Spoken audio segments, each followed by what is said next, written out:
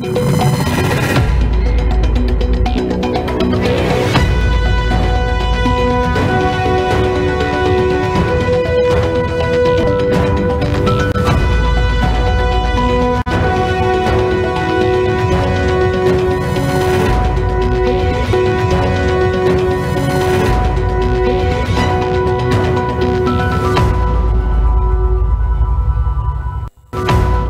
personnes dans le district de Moujamang sont toujours portées disparues suite au passage de la tempête tropicale modérée Chalan, telle que rapportée par le BNGRC aujourd'hui.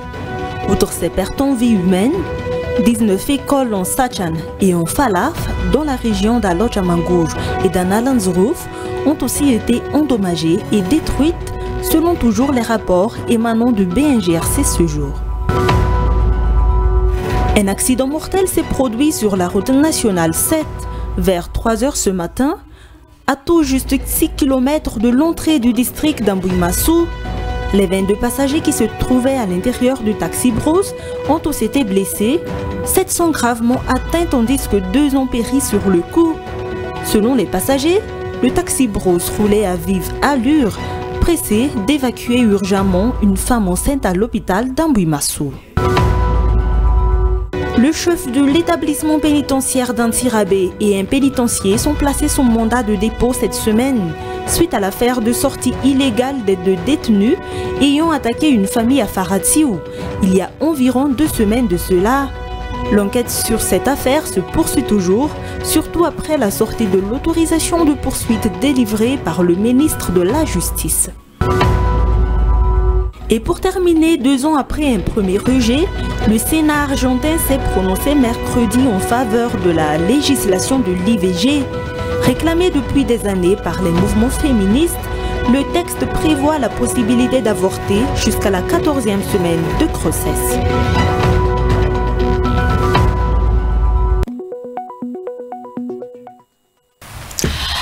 Mesdames, Messieurs, bonsoir et bienvenue dans ce journal en version française sur TV Plus Madagascar. Nous sommes ensemble pour une quinzaine de minutes d'information, alors je vous invite à suivre jusqu'à son terme. À la une de l'actualité, quatre personnes dans le district de Muramanga sont toujours portées disparues suite au passage de la tempête tropicale modérée Chalan, tel que rapporté par le BGRC aujourd'hui.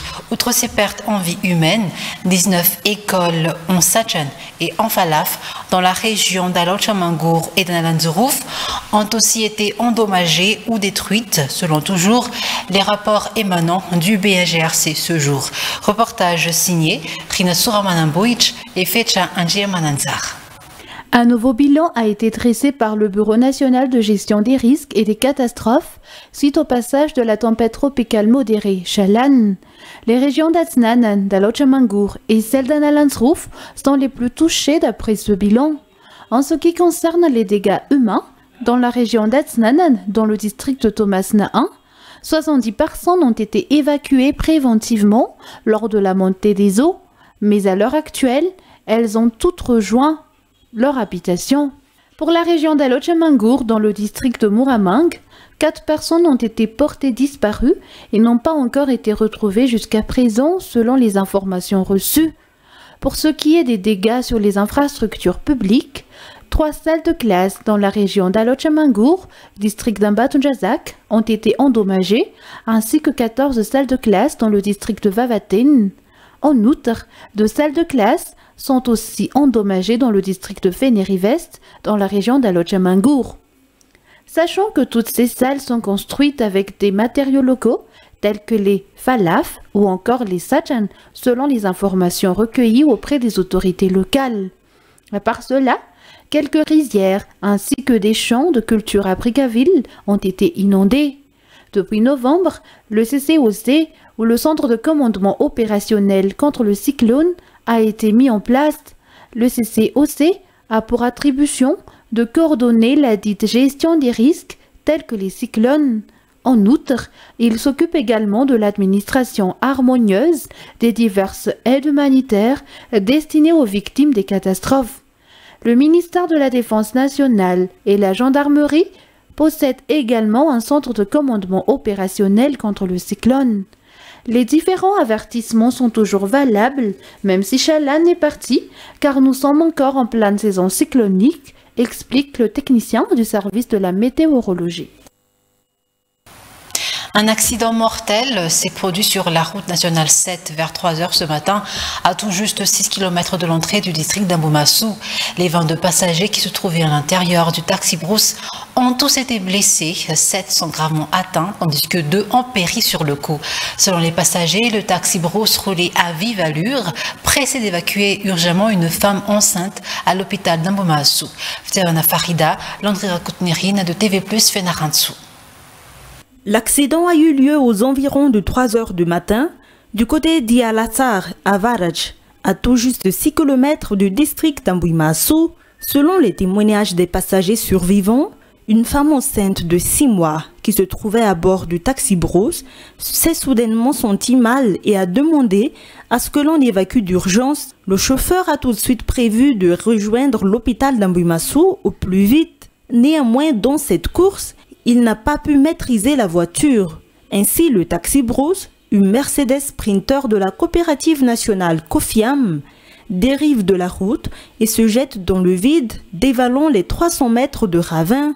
Bilan, tous les passagers ont été blessés lors de la chute, dont sept gravement, et deux autres y ont perdu la vie. L'endroit où a eu lieu l'accident serait déjà mal réputé comme étant le théâtre de plusieurs malheurs fréquents, ont témoigné les passagers. Le chef de l'établissement pénitentiaire d'Antirabé et un pénitencier ont été placés sous mandat de dépôt cette semaine suite à l'affaire de sortie illégale de deux détenus ayant attaqué une famille à Faratiou il y a environ deux semaines de cela. L'enquête sur cette affaire se poursuit toujours, surtout après la sortie de l'autorisation de poursuite délivrée par le ministre de la Justice. D'autres responsables sont encore en cours d'enquête, tandis que les deux fugitifs sont toujours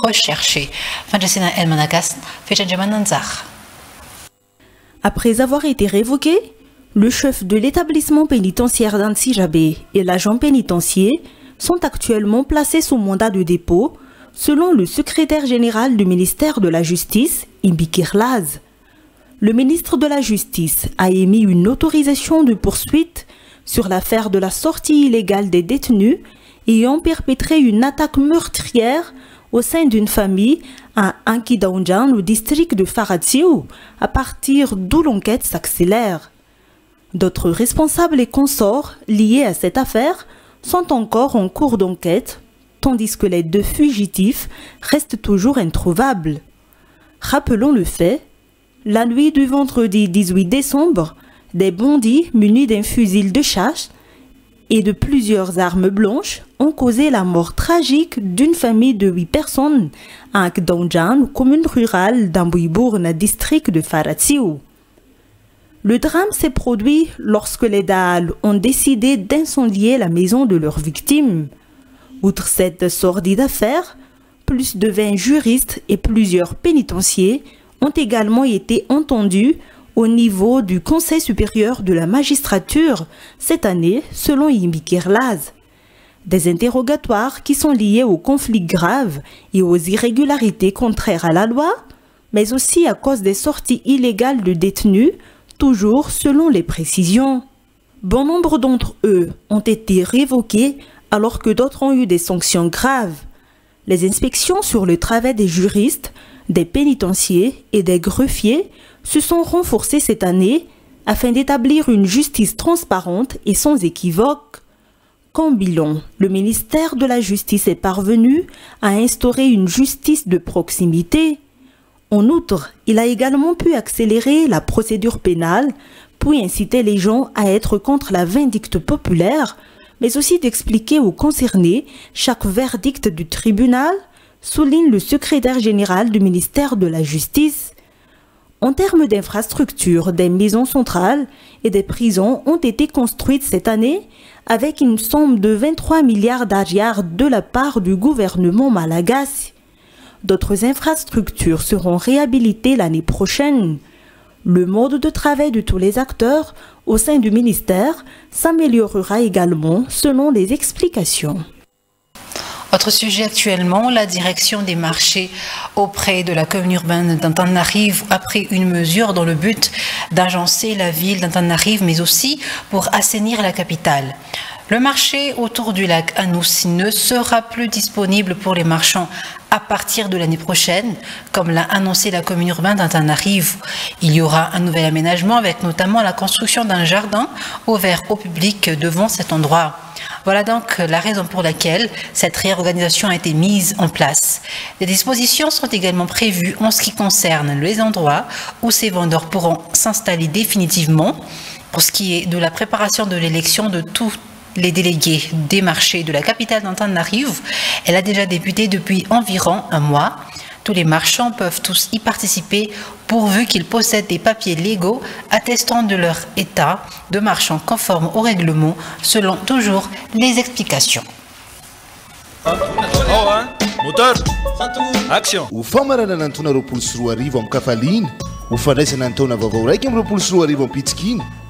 groupe tv plus manolotra ho anao eo araha hoe miavaka. Ho rahainao ny alaka misy raiky amin'ny telopolo desambra roapolo sy roa arivo zao amin'ny sivy ora alina. Nasaina manokana didalosy sy ny mpiaramiasa rehetra ao anatin'ny groupe tv plus madagasikara. Famerenana zoma ray janoary raika ambyroapolo sy roa arivo amin'ny eninora sasany maraina sy ny alahady telo janoary raika ambyroapolo sy roa arivo amin'ny roa ra sasany folakandro. Eo araha hoe miavaka. ho arahinao ny alaka misy raiky amin'ny telopolo desambra roapolo sy roa arivo zao amin'ny sivy ora alina. Coupe dans la boîte.